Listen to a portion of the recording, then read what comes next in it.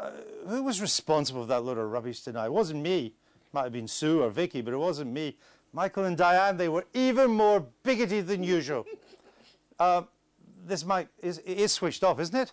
No, we're still there. If you see me walking down the street and I start to cry each time we meet, walk on by.